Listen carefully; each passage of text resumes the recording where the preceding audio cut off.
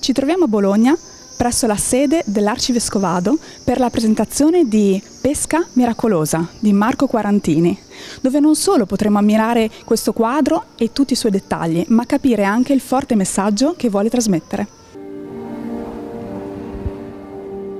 Questo dipinto, frutto di una dedizione profonda e numerosi rifacimenti da parte del pittore, è un capolavoro che riflette l'impegno e la passione di Marco Quarantini. Lei ha visto il quadro in fase di realizzazione? Sì, ho visto il quadro sin dal, dall'inizio, da quando era solo un'idea e attraverso tutte le modifiche che ha fatto mio papà al quadro sono riuscita a capire anche quello che può essere un processo di nascita di un quadro e quindi la, la realtà di quello che può essere anche un pensiero di un artista.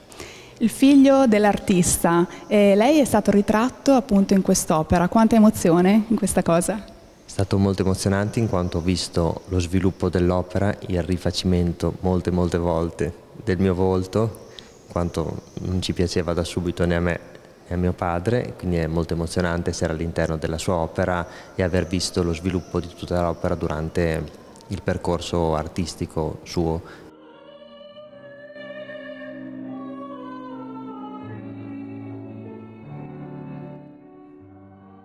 L'opera ha attirato l'attenzione anche di esponenti del mondo istituzionale che hanno sottolineato come l'arte possa essere un mezzo potente per contrastare le mafie eh, ma anche l'importanza dell'arte eh, dell per quello che è una sua ricaduta sulla legalità. L'arte può avere influenza anche sulla legalità, anche una funzione come dire educativa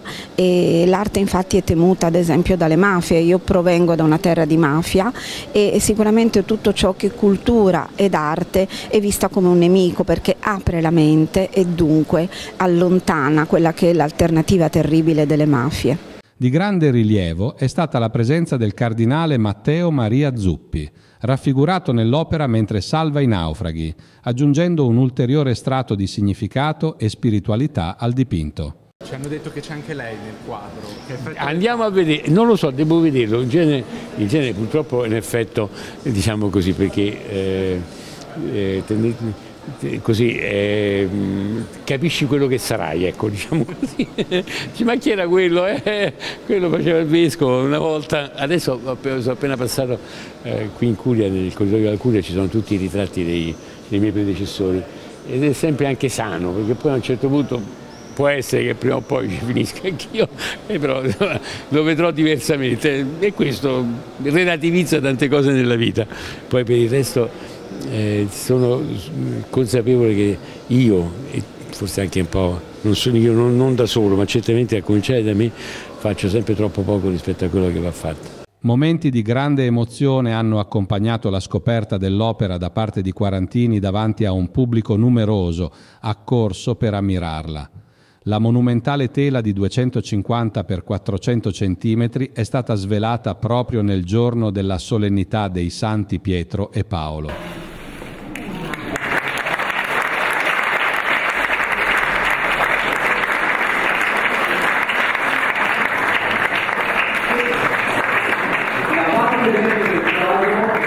Siamo davanti a una reinterpretazione di un episodio del Vangelo molto significativo, con una tecnica di pittura diversa dal solito. Verissimo, io sono conosciuto come pittore per aver dipinto i pesci, pesci con un vetro sovrapposto che il professor Sgarbi ha definito pulegoso, qui sono uscito completamente dai canoni della mia pittura, Qui su incarico del direttore della Caritas Don Matteo Prosperini due anni fa ho avuto l'incarico di rappresentare una pesca miracolosa attuale. Eh, come vedete nella parte destra del quadro è una rivisitazione del quadro di eh, Raffaello che nel 1500 incaricato da Papa Leone X eh, gli ha dato l'incarico per fare eh, gli arazzi che sarebbero dovuti essere destinati alla Cappella Sistina. Io sono partito dalla postura di un Gesù benedicente, da un Simon Pietro implorante e da un Giovanni che raccoglie i pesci, i miei pesci colorati che sono tipici della mia pittura, per eh, passare a una pesca miracolosa attuale, pesca miracolosa che come nella parte destra del quadro ovviamente eh, raccoglie una Bologna accogliente in cui su un'imbarcazione ci sono dei migranti che hanno sfidato il mare eh, eh, rischiando la vita per approdare nel, nella nostra nazione, in cui c'è al centro la figura dominante è quella del cardinale Zuppi, che ovviamente ha in braccio un bambino appena pescato, uno sguardo estremamente coinvolgente quello del cardinale, uno sguardo rassicurante che vuol dire io sono qua, sono qui per aiutarvi, ci sono alla sinistra del cardinale un personaggio legato alla Caritas, rappresentativo di questa cattedrale che era diventato un'icona di questa, di questa cattedrale perché è sempre legato e sempre aiutato dalla Caritas. Nella parte destra un giovane, eh, mio figlio Enrico, che eh, con molta fatica eh, issa un, un, un, disperato, poi un, un salvagente con una naufraga eh, esangue e una mano che implora eh, aiuto nella parte bassa del quadro. Per concludere la parte alta del, del dipinto eh, riporta a, a, Bologna, città accogliente, la Basilica di San Luca, l'icona della nostra città, e a ricordare che eh, questa barca è popolata fondamentalmente da un senso dell'accoglienza in cui i personaggi sono i personaggi della barca, sono tutti personaggi qui del territorio. E è interessante perché conosciamo Marco anche per le sue opere che sono molto materiche l'utilizzo dei materiali particolari come il vetro, come il metallo, il ferro, queste cornici che rinchiudono questi sogni, no? queste, eh, questi temi onirici. In questo caso invece il tema è, è, molto, è molto crudo, il tema è, purtroppo anche molto di attualità, perciò sembra che effettivamente eh, il quadro non abbia in questo caso, vedo più cornici, anche perché effettivamente non è più un sogno che viene rinchiuso, è purtroppo la, la realtà cruda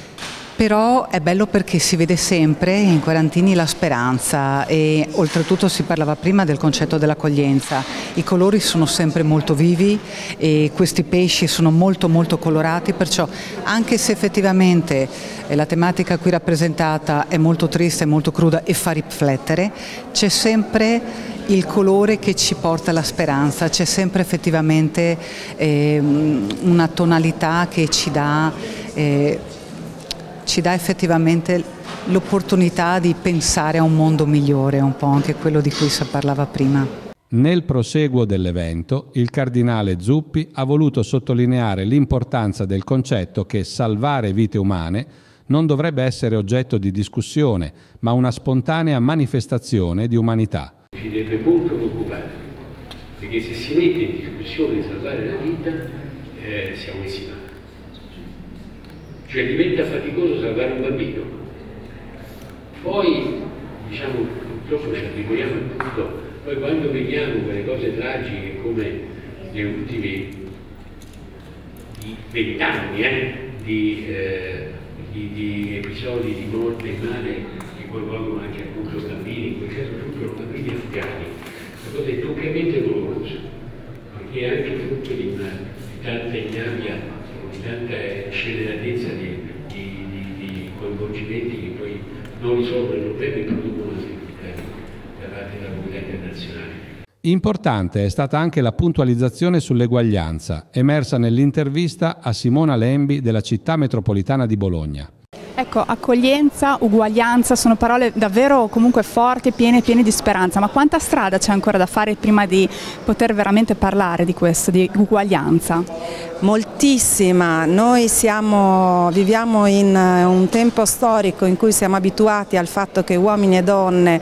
quotidianamente vadano sulla Luna, eppure il cammino dell'uguaglianza ha ancora moltissima strada da fare e questo significa che dobbiamo lavorare molto sulle alleanze, dobbiamo lavorare molto sulle istituzioni, dobbiamo lavorare su un senso comune perché è una battaglia difficile e quando si giocano battaglie e sfide impegnative serve l'aiuto di tutti. Nel dipinto è rappresentato anche un migrante che purtroppo non è più tra noi ma il suo spirito e il suo ricordo persistono nel cuore di coloro che si dedicano all'accoglienza e alla solidarietà umana. Un dramma reale con persone anche reali, anche eh, l'episodio di Carlo. Sì, abbiamo voluto immortalare Carlo, il nostro amico, che non c'è più da un anno un a causa di un incidente veramente banale, però ha perso la vita, lui che ha cercato per una vita eh, una cittadinanza eh, terrena e nel momento in cui l'ha avuta il Signore l'ha chiamato alla cittadinanza del cielo e così abbiamo voluto fortemente che il suo volto rimanesse per sempre eh, dove noi lavoriamo e lavoriamo per aiutare le persone. La pesca miracolosa di Quarantini non solo celebra la bellezza artistica, ma anche la capacità dell'arte di suscitare consapevolezza e riflessione sui temi cruciali della nostra società, promuovendo la comprensione e la compassione verso i più vulnerabili.